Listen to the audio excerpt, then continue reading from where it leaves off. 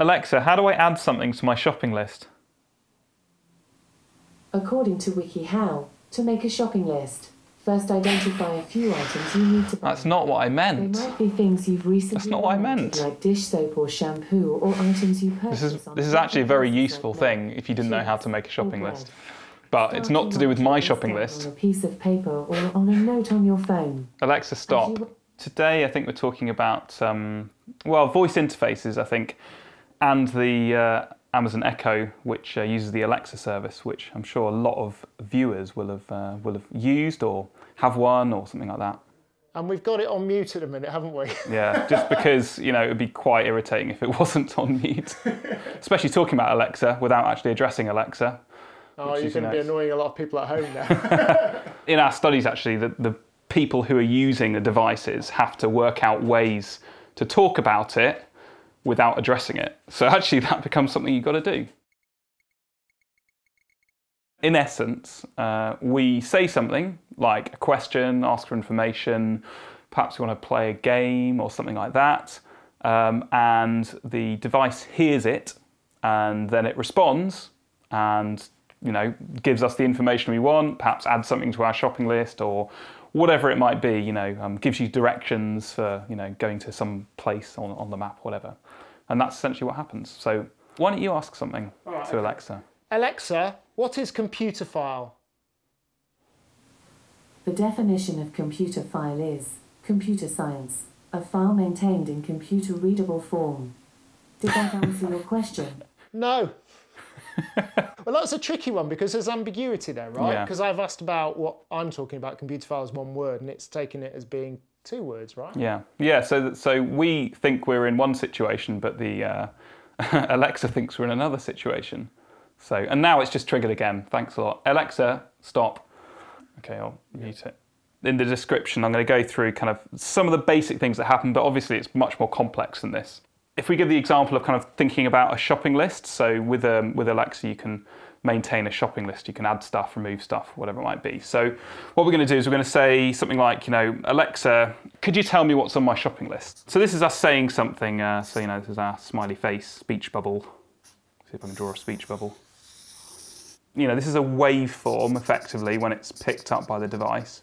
So, you know, sound, the sound wave. What the device is going to do, it's going to take this stuff and it's going to run it through automatic speech recognition, ASR. And this is detecting what was said essentially. The first thing the ASR is doing, but it's local to the device, is picking up the wake word.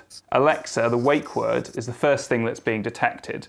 So there is some kind of onboard speech recognition going on on the device itself to work out when Alexa's being said. Now the rest of the stuff, the kind of the could you tell me what's on my shopping list, that's being shipped off to the cloud for speech recognition being done on the rest of this sentence that we're saying to the device. Um, and that's kind of passing through these very sophisticated, complex deep learning models. You know, this is I think one of the major innovations of these devices is actually having ASR that works, you know, pretty well. I'm not saying it works for everyone, but it works uh, well for a lot of people, at least compared to kind of how things used to be. So it's shipping all this stuff off into the cloud. You know, could you tell me what's on my shopping list? It's transcribing those into a bit of text essentially. So we've got this bit of text that says, could you tell me what's on my shopping list? And now we need to do something with that text. We need to make sense of it in some way. And one of the first stages that uh, it goes through is something called natural language processing, NLP, or natural language understanding.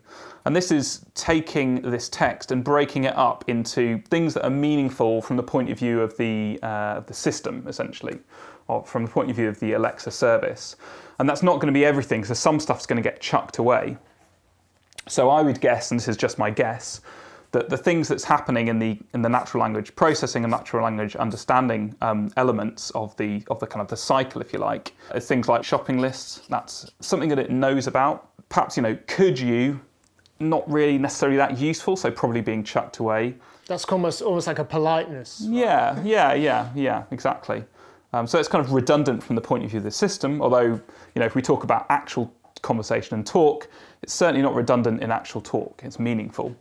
Um, it's probably something like "tell me" is is a significant um, phrase. Again, that's being parsed out and, and noticed by the parser.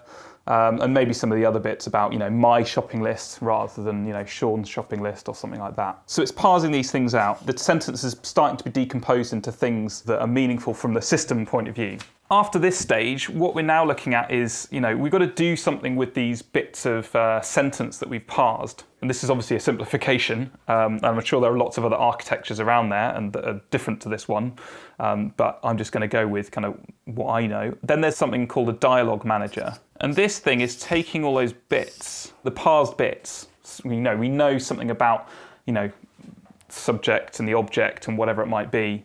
Um, in this case, you know, the, the meaningful thing might be shopping list um, and the kind of command to tell me and the, the fact that it's my shopping list, not someone else's.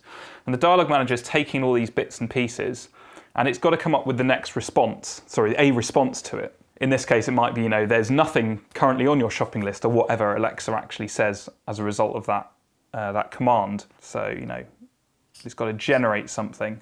But in the course of doing so, the dialogue manager's got to do all sorts of other stuff. It's got to kind of put you perhaps in some kind of conversational flow or like a state it's going to be looking at kind of what stage you're at in the you know current assumed from the system's point of view assumed assumed conversational um, you know uh, state might be. And then it's got to draw on other resources as well. With a shopping list, it's kind of something about Amazon services come into play. So, you know, where it's storing this information, I have no idea where it's storing it in the cloud somewhere, but it's retrieving that information about what's actually on the shopping list. This is like data.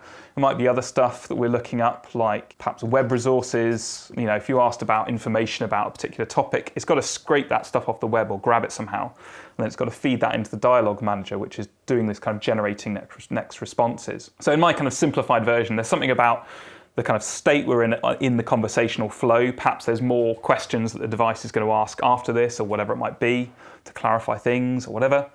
Um, there's some other resources that it might be drawing on to feed data into the response. And then it's generating response, which might be, as I said, you know, um, you know, you have no items on your shopping list, right? Which is kind of, you know, that's kind of what it's coming out with. But then that's just a kind of, you know, text output. It's got to say this. So the next stage is to do text to speech. So it's got to generate speech um, based on what this text is.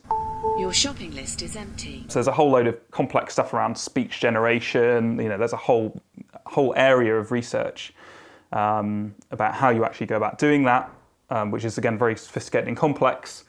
And then it comes out of the device, the Echo, as the response, and so we hear it. The really heavy stuff is this stuff here, like the ASR stuff here, the speech recognition stuff. That's where you need a whole ton of data and quite you know significant models um, that you've learned, um, which then you know you put in input, which is these bits of audio, and you get output, and that's you know which is these bits of text, which are which are uh, which map. You know, there's there's obviously a confidence associated with that.